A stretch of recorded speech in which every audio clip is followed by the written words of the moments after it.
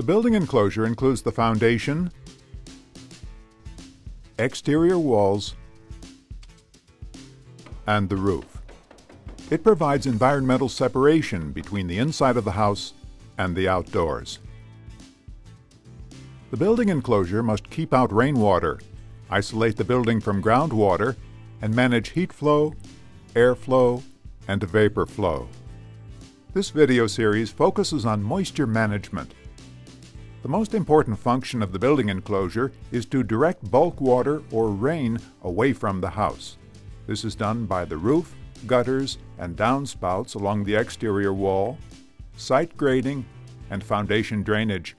This video series emphasizes construction details for managing bulk water. To keep water out of the building enclosure, flashing is critical. Some portions of flashings are not visible in completed construction, such as flexible flashing material around windows, doors, and wall penetrations. However, the outer terminations of roof flashing are always visible from the exterior at completion of construction. The building enclosure also manages heat flow, airflow, and vapor flow. This function is important not only to the energy performance of the house, but also its durability.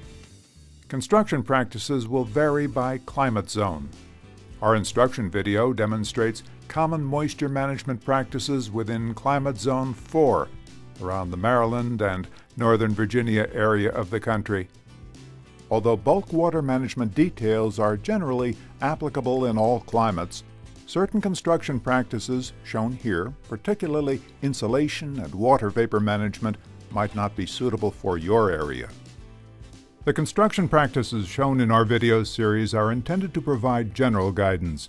You must follow specific building code requirements within your area.